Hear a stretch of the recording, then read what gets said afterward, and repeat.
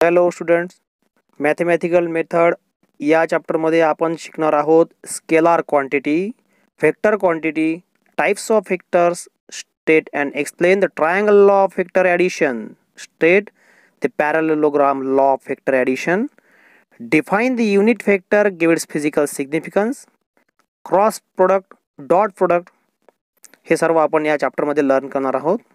त्याआधी आपण जाणून घेऊया क्वांटिटी काय आहे. what is the scalar quantity and give its examples. The physical quantities which can be completely described by its magnitude only are called as scalar quantity. अशी quantity अशी physical quantity की जी फक्त आणि फक्त मॅग्नेट्यूड डिस्क्राईब करते magnitude describe म्हणजे काय होते मॅग्नेट्यूड डिस्क्राईब करते म्हणजे काय मॅग्नेट्यूड म्हणजे व्हॅल्यू जी क्वांटिटी फक्त व्हॅल्यू डिस्क्राईब करते, ज्याला कुठलीही डायरेक्शन नसते, अशा क्वांटिटीला क्वांटिटीला स्केलार क्वांटिटी असे म्हणतात. As example mass length time area volume density चला तर मग नंतर बघूया व्हेक्टर क्वांटिटी तर तुम्हाला प्रश्न कसा विचारणार आहेत बघा. What is vector quantity and give its examples तर तुम्ही या ठिकाणी डेफिनेशन कशी लिहिणार आहात? The physical quantity which requireds magnitude as well as direction for complete description are called vector or vector quantity miss what year the physical quantity which can be describe magnitude as well as direction अशी physical quantity की जी magnitude आणि direction describe करते. Physical त्या physical क्वांटिटीला magnitude पण असते आणि डायरेक्शन पण असते. अशा क्वांटिटीला व्हेक्टर क्वांटिटी असे म्हणतात. याचं एक्झाम्पलमध्ये आपण काय बोलणार आहोत? Displacement velocity acceleration momentum impulse force etcetera. Next topic आहे आपला टाईप्स ऑफ व्हेक्टर. तर या टाईप ऑफ व्हेक्टरमध्ये आपण बघा प्रश्न कशा पद्धतीने विचारणार आहे? Explain the different types of vector त्यामध्ये आपण काय काय पाहणार आहोत बघा. त्यामधले त्यामध्ये पहिला टाप टाईप आहे इक्वल व्हेक्टर सेकंड आहे निगेटिव्ह व्हेक्टर निगेटिव्ह व्हेक्टरलाच अपोजिट व्हेक्टर म्हणतात. Parallel vector anti parallel vector zero vector position vector त्यामध्ये आधी पहिला टाईप बघूया. इक्वल व्हेक्टर काय कन्सेप्ट आहे बघा. Two vector are set to be equal if they have equal magnitude and same direction जेव्हा दोन व्हेक्टर इक्वल असतात. आपण इक्वल आहे असं म्हणतो. त्यावेळेला त्या व्हेक्टरची मॅग्नेट्यूड आणि डायरेक्शन सुद्धा इक्वल आहे असं आपण म्हणतो असतो. If vector A bar is equal to vector B bar it means magnitude of vector A bar is equal to magnitude of vector B bar and direction of vector A bar is same as that of vector B bar okay बघा. या ठिकाणी आपण खाली लिहिलेलं आहे A bar is equal to B bar okay आणि या व्हेक्टरच्या ए बार व्हेक्टरची आणि बी बार व्हेक्टरची आपण खाली डायरेक्शन दाखवलेली आहे. म्हणजेच या व्हेक्टरची मॅग्निट्यूड पण सेम आणि डायरेक्शन पण सेम असा याचा अर्थ होतो. नेक्स्ट बघा. निगेटिव्ह व्हेक्टर निगेटिव्ह व्हेक्टरला आपण अपोजिट व्हेक्टर सुद्धा म्हणू शकतो. यामध्ये बघा याची डेफिनेशन आपण आपण कशी करणार आहोत? Two vector are set to be opposite vector if they have same or equal magnitude but opposite in direction म्हणजे काय होते? की आपण दोन व्हेक्टरला अपोजिट व्हेक्टर अथवा निगेटिव्ह व्हेक्टर केव्हा म्हणणार आहोत? जेव्हा त्याची मॅग्नेट्यूड इक्वल किंवा सेम असेल पण डायरेक्शन ही अपोजिट असेल तेव्हाच आपण त्याला निगेटिव्ह व्हेक्टर म्हणतो. अदरवाईज त्याला निगेटिव्ह व्हेक्टर आपल्याला म्हणता येणार नाही आहे खाली आपण डायरेक्शन दाखवलेली आहे बघा. ए बारची डायरेक्शन कशी दाखवलेली आहे? राईट साईडला बी बारची अपोजिट साईडला दाखवलेली आहे. परंतु ए बार आणि बी बार जे आहे, त्याची मॅग्नेट्यूड कशी राहणार आहे? इक्वल म्हणजे त्याची व्हॅल्यू इक्वल राहणार पण डायरेक्शन हे अपोजिट आहे. म्हणजे A bar is equal to B bar आपण घेतलेला आहे. परंतु या ठिकाणी डायरेक्शन आहे. कारण त्याची डायरेक्शन अपोजिट आहे, म्हणून आपण या ठिकाणी मायनस लिहिलेलं आहे. टू जे त्या ठिकाणी इक्वलचे जे साईन आहे, ते काय इंडिकेट करते? त्याची मॅग्नेट्यूड इंडिकेट करते okay A bar is equal to minus B bar किंवा तुम्ही शकता B bar is equal to minus A bar नंतर बघा पॅरल व्हेक्टर काय आहे? बघा two vector are set to be parallel if the angle between them is zero degree and they act along the same direction आपण केव्हा दोन व्हेक्टरला parallel vector म्हणणार आहोत? जेव्हा त्यामधला अँगल झिरो डिग्री आहे. आणि ते दोन्हीही जे ॲक्ट होत आहे, ते एकाच डायरेक्शननी ॲक्ट होत आहे. म्हणून आपण या ठिकाणी म्हटलं आहे the two vector are set to be parallel if the angle between them is zero degree and they act along the same direction दोघांमधला angle zero होत आहे. म्हणजे या ठिकाणी आपण दाखवलेले आहेत बघा ए बार आणि बी बार दोन्ही व्हेक्टरची डायरेक्शन ही सेम दाखवलेली आहे. त्यामध्ये कुठलाही अँगल नाही, म्हणजेच त्यामधला अँगल डिग्री होतो. या ठिकाणी ए बार आणि बी बारची एक सेम डायरेक्शन दाखवलेली आहे. दुसरी पण मध्ये दिसते आहे तुम्हाला. ओके चला नेक्स्ट बघूया. अँटी पॅरल व्हेक्टर काय कन्सेप्ट आहे? Anti parallel vector two vector are said to be anti parallel if the angle between them is one eighty degree and they in opposite direction दोन व्हेक्टरला आपण anti parallel vector केव्हा म्हणणार आहोत? जेव्हा दोन व्हेक्टरमध्ये जो आहे तो वन एटी डिग्री आहे. And they acts in opposite direction they act in opposite direction खाली दिलेलं आहे बघा ए बार आणि बी बार ए बारची डायरेक्शन राईट साईडला दिसते आहे बी बारची डायरेक्शन लेफ़्ट साईडला दिसते आहे. म्हणजे या जो अँगल होतो आहे तो वन एटी डिग्रीचा होत आहे. त्यालाच आपण अँटी पॅरल व्हेक्टर म्हणूया. नंतर बघा झिरो वेक्टर काय कन्सेप्ट आहे? A vector whose magnitude is zero is called as zero vector or null vector म्हणजे याचा अर्थ काय होतो की असा व्हेक्टर की ज्याची मॅग्निट्यूड म्हणजे त्याची व्हॅल्यू ही कशी असणार आहे? झिरो असणार आहे. त्याला आपण झिरो व्हेक्टर म्हणतो किंवा त्याला नल व्हेक्टर म्हणायचं. ओके? आणि त्याला आपण इंडिकेट कशाने करणार आहेत? कशाने डिनोट करणार आहे? झिरो बारने किंवा व्हेक्टर झिरो आपण असं त्याला म्हणू शकतो.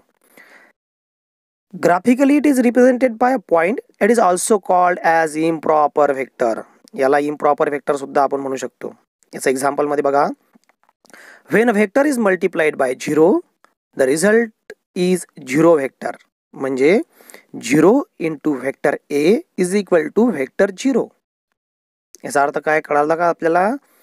की ज्या वेळेला आपण कोणत्याही व्हेक्टरला झिरोनी मल्टिप्लाय करतो त्यावेळेला आपल्याला जो रिझल्ट मिळतो तो झिरो मिळतो. म्हणून आपण त्याला झिरो वेक्टर असे म्हणतो. When the negative of vector is added to the vector the result is zero vector thus vector A plus up minus vector A is equal to zero जेव्हा negative vector आपण एखाद्या व्हेक्टरमध्ये आपण add करतो त्यावेळेला आपल्याला result zero मिळतो. तर चला बघूया next is the position vector position vector का कंसेप्ट है। Vector which specifies the position of a point is called position vector of that point position vector represent the distance of a point from the arbitrary origin vector which specifies the position of a point is called the position vector of that point होता है? कि असा vector कि जो पॉइंटची position specify करतो आहे. म्हणजेच पॉइंटची position show करतो आहे. म्हणजे पॉइंट कुठे आहे? तो शो करतो आहे. अशा व्हेक्टरला आपण पोझिशन व्हेक्टर असे म्हणतो. आता पॉइंट नेमका कुठे असणार आहे? हे लक्षात घ्या. त्यासाठी आपल्याला युनिफॉर्म सर्क्युलर मोशनचा एक्झाम्पल घ्यावं लागेल. पण युनिफॉर्म सर्क्युलर मोशनमध्ये काय? मोशन म्हणजे कोणता कन्सेप्ट आहे? हे लक्षात युनिफॉर्म सर्क्युलर मोशन म्हणजे the motion of particles moves along the circumference of circle with a constant speed called as uniform circular motion म्हणजे एखादा पार्टिकल सर्कम्फरन्स ऑफ सर्कलमध्ये फिरतो आहे आणि त्या पार्टिकलची पोझिशन आपण त्या सर्कलच्या सेंटरमधून ऑब्झर्व करत आहोत. म्हणजे तो पार्टिकलची पोझिशन शो करणे. म्हणजे पोझिशन व्हेक्टर त्या पार्टिकलपासून तर सेंटर पर्यंत. जर आपण एखादी लाईन जर ड्रॉ केली तर आपण त्याला रेडियस म्हणतो. मग ते रेडियस त्या पार्टिकलची पोझिशन शो करतो आहे त्या सेंटरपासून. म्हणून आपण त्या रेडियसला रेडियस व्हेक्टर सुद्धा म्हणू शकतो. म्हणजेच पोझिशन व्हेक्टर म्हणजे एक प्रकारचा रेडियस व्हेक्टर म्हणून आपण या ठिकाणी एक्झाम्पलमध्ये म्हटलेलं आहे की in uniform circular motion every radius vector is a position vector as it fixes the position of every point on the circumference from the center of the circle. हे सर्व व्हेक्टरचे टाईप झालेले आहेत. परंतु यामध्ये जर तुम्हाला जर असं विचारलं गेलं की रिझल्टन व्हेक्टर काय आहे कंपोजिशन ऑफ व्हेक्टर काय आहे तर त्यासाठी तुम्हाला प्रश्न कशा कसा विचारला जाईल हे बघा. What do you mean by resultant of vector resultant vector काय आहे? ओके तर तुम्ही काय करणार आहात? तुम्ही या ठिकाणी याला कशा पद्धतीने डिफाईन करणार आहात बघा. A single vector which has a same effect as the combine effect of two or more than two vectors of same type is called resultant vector of two vectors म्हणजे बघा एकाच प्रकारच्या दोन किंवा दोनपेक्षा जास्त व्हेक्टर कंबाईन होऊन जो इफेक्ट तयार झाला एक न्यू इफेक्ट तयार होतो त्या एक न्यू इफेक्टला न्यू व्हेक्टरला रिझल्टन व्हेक्टर असे म्हणतात की जो एक सिंगल व्हेक्टर आपल्याला मिळतो आहे दोन किंवा दोनपेक्षा जास्त व्हेक्टरचा कॉम्बा कॉम्बिनेशन होऊन एक जो एक सिंगल व्हेक्टर आपल्याला मिळतो आहे त्या सिंगल व्हेक्टरला आपण रिझल्टन व्हेक्टर म्हणतो. म्हणून आपण या ठिकाणी काय म्हटलेलं आहे resultant व्हेक्टरसाठी? Single vector which has the same effect as the combine effect of two or more than two vectors of same type is called resultant vector of two vectors बघा खाली एक्झाम्पलमध्ये आपण काय केलेलं आहे एक व्हेक्टर एची डायरेक्शन दिलेली आहे, एक व्हेक्टर बीची डायरेक्शन दिलेली आहे. आणि नंतर ह्या दोन्ही व्हेक्टरला कंबाईन केल्यामुळे तिसराच व्हेक्टर आपल्याला मिळतो आहे आणि आपण त्याला रिझल्टन व्हेक्टर असं शो केलेलं आहे. Resultant vector is equal to vector A plus vector B असं आपण या ठिकाणी लिहिलेलं आहे बघा. बघा, तुम्हाला नेक्स्ट क्वेश्चन कसा विचारला जाईल? What do you mean by composition of vector composition composition of vector काय आहे? The process of finding the resultant of two or more factor is called as composition of factor or addition of vector. काय आहे composition of factor आपण याआधी पाहला resultant of factor resultant of व्हेक्टरमध्ये आपण काय म्हटलं की दोन किंवा जास्त चा कॉम्बिनेशन होऊन जो एक तिसरा थर्ड व्हेक्टर आपल्याला मिळतो आहे जो सिंगल असतो त्याला आपण रिझल्टन व्हेक्टर म्हणतो. याच प्रोसेसला कंपोजिशन ऑफ व्हेक्टर म्हणतात. म्हणजे ही जी प्रोसेस आहे दोन किंवा दोनपेक्षा जास्त व्हेक्टरची ॲडिशन होऊन तिसरा व्हेक्टर जो मिळतो आहे रिझल्टन व्हेक्टर जो फाइंडिंग करण्याची जी प्रोसेस आहे या प्रोसेसला आपण कंपोजिशन ऑफ व्हेक्टर म्हणतो आहे. म्हणून आपण या ठिकाणी म्हणतो आहे the process of finding the resultant of two or more vector is called composition of vector or it is also called as addition of vector तर बघा नेक्स्ट बघूया state and explain the triangle law of vector addition triangle law of vector ॲडिशनमध्ये आपण काय म्हणणार आहोत बघा if two vectors are represent in magnitude and direction by the two sides of triangle taken in order then the resultant is represent in magnitude and direction by the third side of triangle taken in opposite order काय याचा याचा अर्थ होतो बघा आपल्याला कल्पना आहे triangle म्हणजे त्याला तीन साईड्स आहेत राईट त्यामध्ये ज्या दोन साईड्स आहेत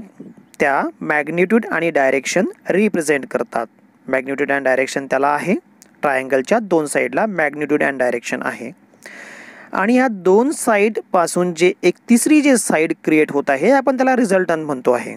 ओके म्हणजे आपल्याकडे दोन व्हेक्टर आहेत P bar and Q bar की ज्याची रिझल्टन आपल्याला फाइंड आउट करायची आहे. व्हेक्टर क्यू बारला हेड आहे आणि टेल आहे. क्यू बारला सुद्धा हेड आणि टेल. ओके? आपण व्हेक्टर क्यू बार जो आहे हा पॅरलली मूव करतो आहे. पी बारसोबत पॅरलली क्यू बारला काय करतो आहे? आपण मूव करतो आहे. व्हेक्टर क्यू बारची ही टेल आहे आणि हा हेड आहे. तर व्हेक्टर क्यू बारची जे टेल आहे हे व्हेक्टर पी बारच्या हेडला आपण कंबाईन करतो आहे. ओके आणि नंतर आपल्याला मिळणार आहे की म्हणजे आपण त्याला नाव देऊ की ओ ए बी ओके आणि आपल्याला जो मिळतो आहे तो व्हेक्टर ओ बी बार आपण असं त्याला म्हणू रिझल्टन व्हेक्टर म्हणूया. ओके तर बघा मग या ठिकाणी आपण खाली म्हणू शकतो. पहिला आधी हे समजून घ्या मी काय म्हटलेलं आहे. Suppose we have two vectors vector V sorry vector P bar and vector Q bar whose resultant way how to find out move vector Q bar parallel with itself so that tail of vector Q bar combines with head of vector P bar so according to triangle of vector addition we how vector O A plus vector A B is equal to vector O B मजेज अपन ये करना आहोत? Vector P plus vector Q is equal to vector r. Therefore, vector r is equal to vector p plus vector q. Okay हे झालं तुमचं law of vector addition यामध्ये आपण काय एक रिझल्टन व्हेक्टर फाइंड आउट करतो. चला तर नेक्स्ट बघूया मग. Next question is by using parallelogram law of vector addition of ten and expression for resultant of two vectors and its direction बघा तुम्हाला इथे खाली डायग्राम दिलेली आहे. या डायग्राममध्ये तुम्हाला P bar and Q bar हे दोन व्हेक्टर दिसत आहेत. आणि O A bar and O B bar ह्या दोन पॅरलोग्रामच्या ॲडजस्टंट साईड्स आहेत. ओके? आणि त्या ठिकाणी तुम्हाला व्हेक्टर आर बार दिसतो आहे. तर तो या पॅरलोग्रामच्या पी बार आणि क्यू बारचा डायगोनल आपण कन्सिडर करूया. किंवा डायगोनल आहेच तो. त्याला नाव दिलेलं आहे. या पॅरलोग्रामला नाव दिलेलं आहे ओ ए सी बी म्हणजे आर आपण काय म्हणूया? ओ सी बार किंवा व्हेक्टर ओ सी ओके म्हणजे आपण इथं म्हणतो आहे बघा suppose P bar and Q bar are represented by vector O A bar and vector O B bar. The two adjacent sides of parallelogram O A C B by parallelogram parallelogram law of vector addition, law of addition, the resultant vector r bar of p bar and q bar is given by the diagonal of oc bar. Okay? Let theta be the angle between p bar and q bar. या ठिकाणी जो theta तुम्हाला दिसतोय diagram मध्ये बघा. या ठिकाणी जो तुम्हाला थिटा दिसतो आहे तो पी बार आणि क्यू बार मधला काय झाला? अँगल झालेला आहे. ओके आता तुम्हाला या ठिकाणी काय करायचं to find the magnitude of vector R bar तुम्हाला इथे आर बारची मॅग्निट्यूड फाइंड आउट करायची आहे. ठीक आहे?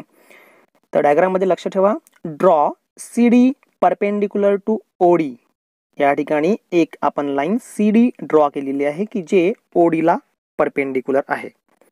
ठीक आहे? नवीन ट्रायंगल ओ सी डी या ओ सी डी हा जो ट्रायंगल आहे डायग्राममध्ये बघा ओ सी डी हा जो ट्रायंगल आहे, यामध्ये आपण काय triangle law of vector addition मध्ये आपण म्हटलं होतं.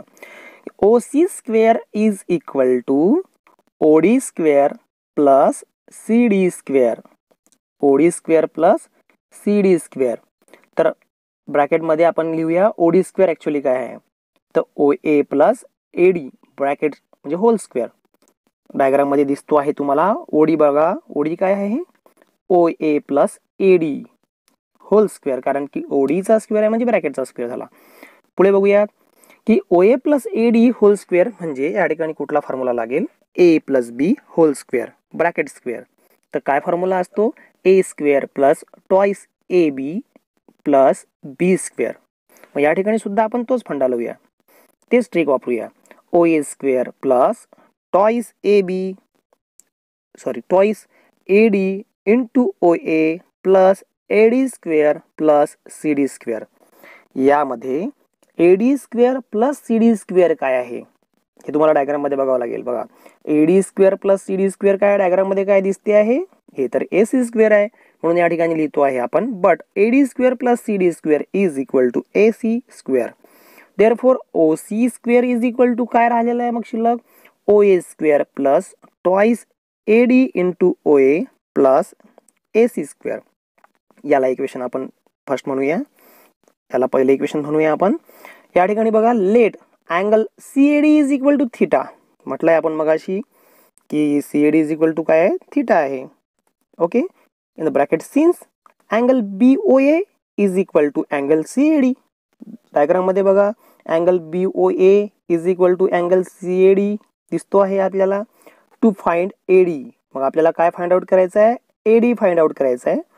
आता आपण काय in triangle A D C cos theta is equal to A D upon A C cos theta काय असतो ॲडजेसन साईड अपॉन हायपोटिनियस मग या ठिकाणी कॉस थिटा काय होणार आहे? इन ट्रायंगल ए डी सी मध्ये A D upon A C cos theta is equal to A D upon A C therefore A D is equal to काय होईल मग? A C cos theta A C cos theta put in equation one we get आता आपण हे equation वनमध्ये put करणार आहोत. One equation आपल्याकडे होता मग अशी O C square is equal to O A square plus twice A D into O A plus A C square या इक्वेशनमध्ये आपण पुट करणार आहोत ए डीची व्हॅल्यू ते काय होणार आहे मग? O C square is equal to O A square plus twice O A into A C cos theta plus A C square okay नंतर मग आपल्याला कल्पना आहे ओ सी म्हणजे आर ओ ए म्हणजे पी ए सी म्हणजे क्यू मग आपण या ठिकाणी त्या फॉर्ममध्ये लिहू. R square is equal to P square plus twice P Q cos theta plus Q square मग हा काय होईल? हा स्क्वेअर निघून जाईल. आर इज इक्वल टू आणि इकडची सर्व पूर्ण जी व्हॅल्यू आहे ती कशी होईल? स्क्वेअर रूटमध्ये जाईल. मग काय होणार आहे? Therefore R is equal to under root P square plus twice P Q cos theta plus Q square okay, याला इक्वेशन टू म्हणा. मग हे जे टू जे दुसरं इक्वेशन हे काय देणार आहे आपल्याला? मॅग्निट्यूड देणार आहे. डायरेक्शन देणार आहे. ओके? आता आपल्याला डायरेक्शन जर कधी काढायची to find the direction of vector R bar तुम्ही काय आहात? या ठिकाणी. Let alpha be the angle made by resultant R bar अपने आपल्याकडे अल्फ़ा अँगल होता. ओके? तो let alpha be the angle made by resultant R bar with P vector P मग आपण या म्हणणार आहोत for angle C O A is equal to alpha therefore tan alpha is equal to होईल मग? C O A C O A is equal to जर alpha म्हणतो आहे आपण, तर tan alpha is equal to होईल? C D upon O A plus A D आणि equation आपण तिसरं इक्वेशन म्हणूया. But in triangle O A C D in triangle A C D sine theta is equal to होईल? C D upon A C D is equal to A C sine theta काय होईल C D is equal to A C sine theta therefore C D is equal to Q sine theta Q sine theta कसा आला आहे? डायग्राममध्ये बघा. ए सी काय आहे? Q आहे. Vector Q आहे म्हणून क्यू साइन थिटा खाली बघा, लिहू आपण, की A D is equal to A C cos theta mug A D काय आहे? A D therefore theta A D is equal to काय होईल? क्यू कॉस थिटा जर आपण जर कधी C D is equal to A C sine theta म्हणतो आहे, तर C D is equal to Q sine theta A is equal to A D is equal to A C cos theta म्हणतो आहे, तर A D is equal to Q cos theta put in equation three we get ही जी value आहे equation थ्रीमध्ये put करा आणि तिसरं equation कुठलं होतं आपल्याकडे? Tan alpha is equal to C D upon O A plus A D या ठिकाणी ही व्हॅल्यू पुट करूयात आपण. तर आपल्याजवळ काय होणार आहे? तयार. Tan alpha is equal to Q sine theta upon P plus Q cos theta therefore alpha is equal to तो जो या जो टॅन होता तो तिकडे जाईल. इक्वल टूच्या तिकडे जाईल. आणि ज्यावेळेला टॅन इक्वलच्या तिकडे तो टॅन इनवर्स होत असतो. ओके तर आपण याला आहोत? Alpha is equal to tan inverse in the bracket Q sine theta upon P plus Q cos theta okay आपण याला एक बॉक्स करूयात. Okay this gives the angle that R makes with P and hence direction of R bar चला next question घेऊया define unit vector give its physical significance unit vector काय unit vector is a vector having unit magnitude की ज्याची magnitude unit आहे। ज्याची magnitude unit आहे। त्याला आपण युनिट वेक्टर म्हणूया। त्याच्या फ़िज़िकल सिग्निफिकन्समध्ये आपण म्हणू शकतो let vector A be a vector having its magnitude A म्हणजे आपल्याकडे व्हेक्टर ए जो आहे, त्यामध्ये जो ए दिसतो आहे, हे त्याची मॅग्निट्यूड आहे. त्याची काय आहे. ही मॅग्निट्यूड आहे म्हणून आपण A is equal to small vector A into capital A therefore small vector A is equal to capital vector A upon capital A असं आपण त्या ठिकाणी लिहू शकतो. जो small vector small A bar जो तुम्हाला दिसतो आहे small A bar is equal to capital A bar upon A तर त्या कॅपिटल ए बार जो आहे तो व्हेक्टर आपण कन्सिडर करा करा. जो फक्त ए दिसतो आहे कॅपिटल ए दिसतो आहे ती झाली त्याची मॅग्नेट्यूड आणि स्मॉल ए बार जो दिसतो आहे, ते झालं unit vector the magnitude of vector small A bar is one म्हणजे काय त्याची मॅग्नेट्यूड वन असणार आहे? म्हणजे युनिट वेक्टर तुम्ही कशाला म्हणणार आहात? की ज्या, त्याची मॅग्नेट्यूड वन असेल. The unit factor is the factor having mag its magnitude is unit one त्यावेळेला आपण त्याला युनिट म्हणूयात. खाली तुम्हाला डायग्रामसुद्धा मी या ठिक डायग्रामसुद्धा तुम्हाला या ठिकाणी दिलेली चला नेक्स्ट क्वेश्चन बघूया. Define the scalar product of two vector scalar product म्हणजे काय? Dot product okay? याला आपण कसं डिफाईन करणार आहात बघा? असा प्रश्न तुम्हाला विचारला जाणार आहे, त्याला तुम्ही कशा पद्धतीने सॉल्व्ह करणार आहात? Scalar product of two vector is equal to the product of magnitude of two vector and cosine of angle between them okay the scalar product of two vector is equal to the product of magnitude of two vector and cosine of angle between them म्हणजे काय होत आहे? की vector A into vector B म्हणजेच A bar into B bar is equal to आता A बार हा एक vector झाला आहे बी बार हा दुसरा व्हेक्टर झाला आहे फक्त ए आणि फक्त बी हे झाली त्याची मॅग्नेट्यूड म्हणजे आपण काय म्हणतो आहे? Vector A bar is equal to vector B bar is equal to A into B हे म्हणजे त्याची झाली मॅग्नेट्यूड ती कोणासोबत आहे? कोसाईन अँगलसोबत आहे. म्हणजे तो झाला स्केलार प्रोडक्ट म्हणजे vector A bar into vector B bar is equal to A B cos theta diagrammatically representation तुम्हाला खाली दाखवलेलं बघा. फिगरमध्ये तुम्हाला डायग्राममध्ये काय दिसते आहे तुम्हाला. या ठिकाणी तुम्हाला vector A bar and vector B bar हे दोन व्हेक्टर तुम्हाला दिसतो, दिसत आहेत. आणि त्याचा स्केलार प्रोडक्ट होत आहे. तो खाली दिलेला आहे. बघा नेक्स्ट क्वेश्चन बघूयात आपण. Define the vector product of two vector असं आपण म्हणूया. हा, यामध्ये प्रश्न तुम्हाला कसा विचारला जाईल? Define the vector product of two vector म्हणजे व्हेक्टर प्रोडक्ट तर व्हेक्टर प्रोडक्टला आपण क्रॉस प्रोडक्टसुद्धा म्हणतो ओके याला आपण कसं डिफाईन करणार आहोत बघा the vector product of vector is a vector whose magnitude is equal to the product of magnitude of two vector and the sign of angle between them and whose direction is perpendicular to the plane of containing of the two vector okay, now the direction is given by right handed screw rule or right hand rule okay ज्याप्रमाणे आपण dot प्रोडक्टमध्ये म्हटलं होतं त्याप्रमाणे या ठिकाणी थोडं change आहे. या ठिकाणी त्याला आपण sine of angle between them sine of angle सोबत तो आहे. काय म्हटलं आहे the vector product of vector is a vector whose magnitude is equal to त्याची मॅग्निट्यूड कोणाची इक्वल आहे? Product of magnitude of two vector दोन व्हेक्टरच्या मॅग्नेट्यूडच्या इक्वल आहे. And sine of angle between them and whose direction is perpendicular plane of containing of two vectors okay तर आपण या ठिकाणी थांबूयात.